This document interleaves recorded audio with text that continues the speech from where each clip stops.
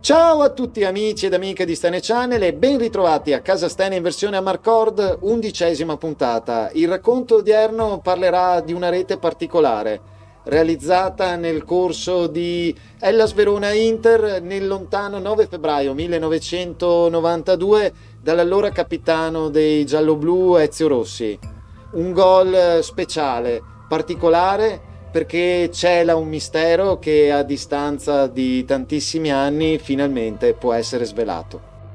Serie A, stagione 1991-92. In calendario per la ventesima giornata di campionato tiene banco la sfida tra l'Ellas Verona e l'Inter.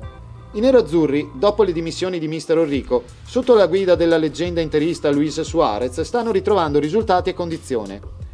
Gli scaligeri di Mister Fascetti, invece, vogliono conservare per il momento la quintultima posizione in classifica, che rappresenta la quota salvezza. In più, tra i giallo-blu, è stato annunciato il rientro di Dragan Stojkovic, uno dei più talentosi calciatori della Jugoslavia dell'epoca, un vero e proprio colpo di mercato per la società di Stefano Mazzi.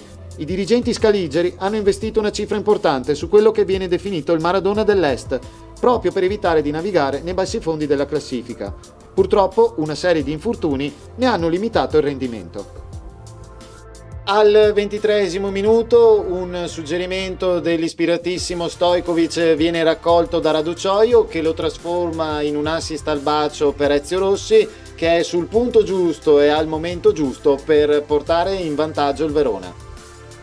Per Stojkovic in verticale per Raducioio sul fondo il cross Ezio Rossi gol Verona in vantaggio al ventiduesimo del primo tempo, gol di Ezio Rossi che va ad esultare sotto la curva nord, quella occupata dai tifosi del Verona, tanto per intenderci.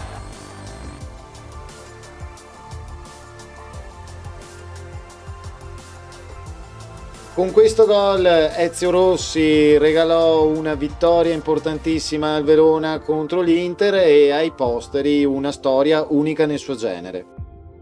La rete realizzata dal capitano Scaligero nel corso di questa sfida, per quanto tecnicamente semplice e quindi per nulla acrobatica, ha comunque un significato estremamente particolare, in quanto cela dietro di sé un mistero, rivelato proprio dallo stesso Ezio Rossi poco tempo fa. 20 giorni antecedenti ad Hellas Verona Inter, il difensore giallo-blu si era fratturato una costola.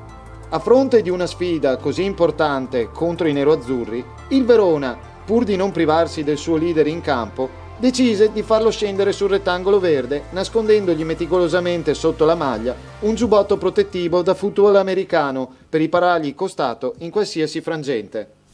La scelta ovviamente risultò azzeccata, in quanto fu proprio Ezio Rossi il mattatore di questo match.